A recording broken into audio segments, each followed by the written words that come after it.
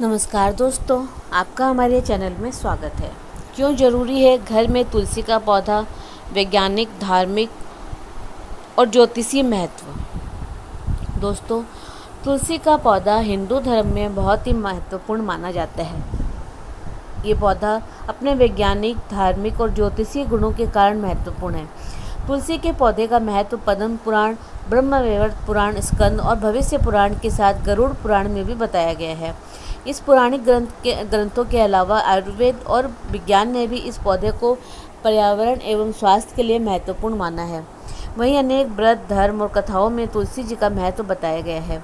भगवान विष्णु श्री कृष्ण की कोई भी पूजा बिना तुलसी दल के पूरी नहीं मानी जाती। इवन अगर भगवान को प्रसाद भी लगाते हैं, भोग भी लगाते हैं तो उसमें भी बिना तुलसी पत्ता डाले वो प्रसाद भगवान स्वीकार नहीं करते। तो इसीलिए ये पौधा घर में होना बहुत ही ज़रूरी है। पद्म पुराण के अनुसार जो दर्शन करने पर सारे पाप समुदाय का नाश कर देती है, स्पर्श करने पर शरीर को पवित्र बनाती है, प्रणाम करने पर रोगों का निवारण करती है। जल सींचने से यमराज को भी भय पहुंचाती है। आरोपित करने पर भगवान श्री कृष्ण के समीप ले जाती है और भगवान के चरणों पर चढ़ाने से मोक्ष रूपी फल प्रदान करती है। उस देवी तुलसी को कोटि कोटि नमस्कार है। गरुड़ पुराण के धर्म कांड में प्रेत कल्प में लिखा है कि तुलसी का पौधा लगाने, उसे सींचने और ध्यान, स्पर्श और गुणगान करने से मनुष्य के पूर्व जन्म के पाप नष्ट हो जाते हैं। ब्रह्म विवर्त पुराण के प्रकृति खंड में लिखा है कि मृत्यु के समय जो तुलसी पत्ते सहित जल पीता है, वह हर तरह के पापों से मुक्त हो जाता है। स्कंद पुराण के अनुसार जिस घर में तुलसी का पौधा होता है, हर दिन जो उसकी पूजा करता है, ऐसे घर में यमदूत प्रवेश नहीं करते। स्कंद पुराण के अनुसार ही बासी फूल और बासी जल पूजा के लिए वर्जित है, लेकिन तुलसी दल और गंगा जल बासी होने पर भी वर्जित नहीं है। यानी कि ये दोनों चीज़ अपवित्र नहीं मानी जाती।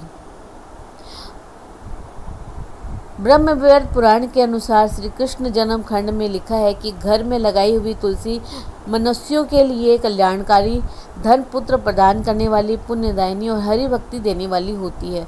सुबह सुबह तुलसी जी का दर्शन करने से सवा मास यानी कि सवा ग्राम, सवा मासा यानी कि सवा ग्राम सोने का दान का फल मिलता है। क्या कहते हैं? आयुर्वेद और ज्योतिष ज्योतिष के अनुसार, ज्योतिष विज्ञान के अनुसार जिस घर में तुलसी का पौधा होता है, वहाँ वास्तु दोष नहीं होता। इस घर, इस पौधे को घर के उत्तर पूर्व कोने में, यानी कि ईशान कोण में लगाना चाहिए। वहीं भविष्य पुराण में भी लिखा है कि तुलसी का पौधा घर के दक्षिणी भाग में नहीं लगाना चाहिए, इससे दोष लगता है। आयुर्वेद में कई औषधियाँ तुलसी के पत्तों से मिल, से मिलाकर बनाई जाती है। आयुर्वेद के वेद के अनुसार तुलसी के पत्तों में पारा होता है, इसीलिए इसे दांतों से नहीं चबाना चाहिए। ऐसा करने से दांत खराब हो सकते हैं। तुलसी पर हुई वैज्ञानिक रिपोर्ट और रिसर्च क्या कहती है, इसको भी जान लेते हैं। वनस्पति वैज्ञानिक डॉक्टर जी डी नागकर्णी का कहना है कि तुलसी के नियमित सेवन से शरीर में ऊर्जा का प्रभाव नियंत्रित होता है और व्यक्ति की उम्र बढ़ती है। फ्रेंच डॉक्टर विक्टर एसिन का कहना है कि तुलसी एक अद्भुत औषधि है। इम्पीरियल इम्पीरियल मलेरियल कॉन्फ्रेंस के अनुसार तुलसी मलेरिया की विश्वसनीय और प्रमाणिक दवा है। Defence research and development organisation के वैज्ञानिकों द्वारा किए गए एक शोध से पता चलता है कि तुलसी में एंटीऑक्सीडेंट होता है, जो कि शरीर की मृत कोशिकाओं को ठीक करने में मददगार होता है। तुलसी का प्रभाव शरीर में पहुँचने वाले केमिकल या फिर अन्य नशीले पदार्थों से होने वाले नुकसान को कम करता है। टीबी मलेरिया और अन्य संक्रामक रोगों में से निपटने के लिए तुलसी कारगर है।